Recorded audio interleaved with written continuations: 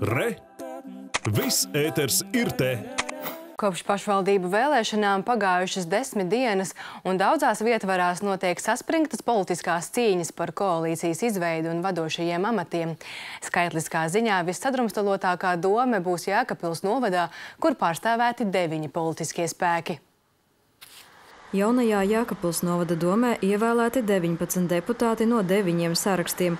Līderējošās partijas ir divas, un šobrīd deputātu starpā turpinās politiskās kaislības. Vēlme, lai tas kaškis, kas eksistē starp politikiem, pašreiz vēl šajā sasaukumā nepārnestos tālāk, respektīvi no pilsētas uz visu novadu turpinājās mm, diskusija ar kaut kādiem privātiem pārmetumiem, jā, bez pamata pārmetumiem, bet, nu, jā, tur konstruktīvas diskusijas tālāk manā skatījumā nebija. Viņi saka, vajag norakt kara cirvi.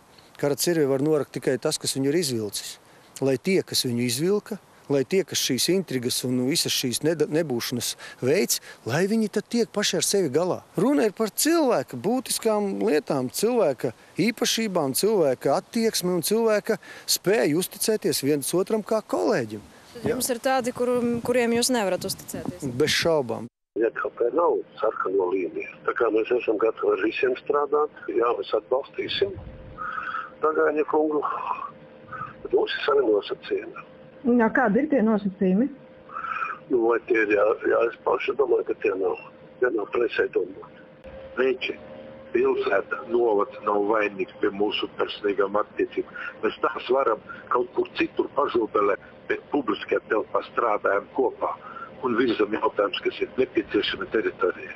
Politoloģe Ruta Mihalovska uzsver, ka pārāk dziļas nesaskaņas var radīt situāciju, kurā var tikt kavēts pašvaldības darbs. Nav pat tik svarīgi cipari.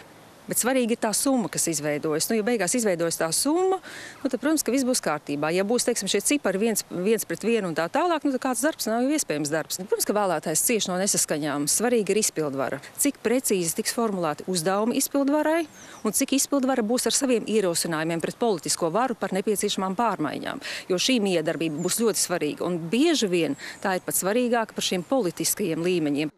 Šobrīd par Jākapils novada politisko līderi tiek virzīts Latvijas zaļās partijas pārstāvis Raivis Ragainis, bet to, kurš ieņems domas priekšsēdētāja amatu, rādīs laiks. Sandra Paigļkalne, Kaspars Daņeļevičs, Vidusdaugavas televīzija.